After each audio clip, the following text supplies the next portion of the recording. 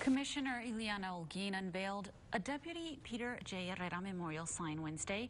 The Sheriff's Office personnel, Deputy Herrera's wife, family, and friends were present to witness the sign's unveiling. The unveiling took place on the second anniversary of the passing of Deputy Herrera. The memorial sign is located at the corner of Chicken Ranch and FM 258. Well, we're going to continue to see some pretty nice conditions for today. Here's a live look outside from our plaza camera in downtown El Paso. You can see the sun slowly starting to come up. And with that being said, we're looking at some pretty breezy conditions in some areas. 13 miles per hour in Cloudcroft, 14 El Paso, 10 in Juarez and, Ju and in Las Cruces, excuse me, Deming, as well as Silver City. As for those temperatures right now, 40 degrees in Deming, 54 El Paso, 41 in Las Cruces. Now, we are expecting to see a pretty clear day across the area. And with that being said, clear skies usually means that we're going to be warming up, right? Well, we're going to be much closer to normal today than we have been the last few days. So with that being said, here's a look at your borderland high. 72 degrees in El Paso, 69 Las Cruces, 67 in Deming, and 71 in Juarez. As for those near normal temperatures, well, that's mainly because we've got below average temperatures up north. We got some warmer temperatures down towards the southeast. And you know what? Clear conditions are going to continue to make us at least uh, warmer right where we need to be. We should be around 72 to 73 degrees for this time of year in the borderland area, and that's what we're going to be seeing. 77 degrees in Fort Hancock, 72 in Dell City and Sierra Blanca, 74 Socorro. 72 again in El Paso, 71 in Vado, 61 in Hatch, and 67 in Deming. But it is going to be a chilly morning, so as you get ready for today, just want to make sure that you're bundled up, but in layers because we are going to continue to warm up into the rest of today. And wind speeds should start to pick up in those later afternoon hours. With that being said, let's go ahead and take a look at your El Paso Honda Golf Index for today. That is at an 8 as we're expecting to see breezy, but nice temperatures. Thank you, Selena. It is 636. Taking a look at the latest COVID-19 data for El Paso County. Just coming into our newsroom, the Department of Public Health reporting four new COVID-related deaths today. The total number of deaths now at 2,360. Health officials also reporting 150 new cases, the active cases just above 2,200.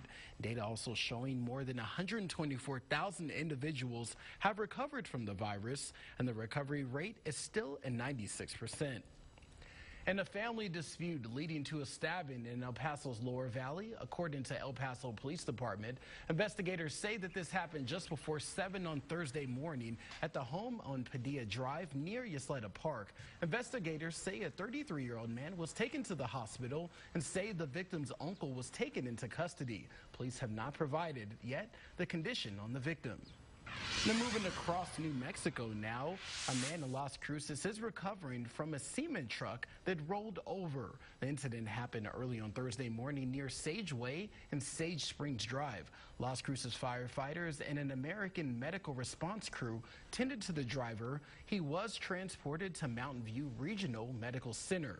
Police say his injuries are not believed to be life-threatening. To an update now to that plane crash that happened near Lordsburg in New Mexico. Border Patrol providing us with video.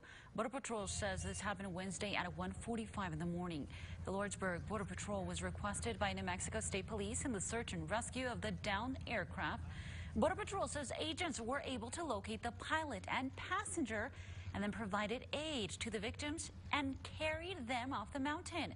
Both people were taken to a local hospital with non-life-threatening injuries. El Paso Sector Chief Gloria Chavez saying if it was not for the efforts of the Lordsburg agents, the two victims could have died in the aftermath of that crash. According to the Border Patrol, both were off-duty police officers with the Fulshear Police Department. The president of Mexico will be making a stop in Juarez today to talk about the COVID-19 situation.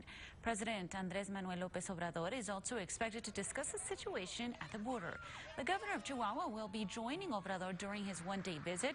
He plans on asking López Obrador for additional COVID-19 vaccines. It's 639. Governor Greg Abbott gave an update on Thursday on his Save Our Seniors program. Abbott announced the initiative at a news conference in Corpus Christi last month. The program began giving COVID-19 vaccinations in rural areas in the state to homebound individuals, but is now reaching out to more populated counties to increase vaccination efforts.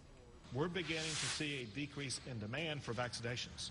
We're, we're having about half or even less than half of the people who signed up for a vaccine actually show up to get a vaccine. And so we're not concerned about people getting in line, not being able to get a vaccine shot. We're more concerned and focused on making sure we get more people out to get a vaccine shot. But at the same time, making sure that if you're age 80 or older, you will get to go to the front of the line. The program will be working with the state of Texas, Texas Health and Human Services Commission, and other local entities. And one of the most watched bills this session moves to the first stage of the Texas Capitol. George Floyd's friends, community activists, and lawmakers testified in support of the George Floyd Act. The bill, filed by House Democrats, would implement police reform across the state. The combined law enforcement associations of Texas also testified against the bill Thursday and criticized the fact that it includes no training requirements for officers to enact change. A procedural gaffe forced an abrupt end to a Texas House hearing on a Republican-backed voting restrictions bill. The move has temporarily deprived more than 100 people of the chance to testify about it, including former El Paso Congressman Beto O'Rourke. The sweeping bill would impose new limits on mail-in voting and grant more power to partisan poll watchers. O'Rourke explained to our sister station KXAN in Austin why he's against the bill. Chris Hollins, with whom I was just speaking, who is the elections administrator in Harris County, who implemented 24-hour voting for shift workers who might get off at 2 a.m. or 4 a.m. and still want to vote, uh, voting super centers, drive-through voting. These kinds of, of innovations would effectively no longer be allowed. Texas Republicans say the bill is to help protect voter integrity. However, critics say it's voter suppression and say there has been no evidence of widespread voter fraud in Texas. It is 641 coming up. A giant container ship remains stuck inside an Egypt canal. How authorities are racing to free it. You're watching KTSM 9 News today. The Golf Index is sponsored by El Paso Honda.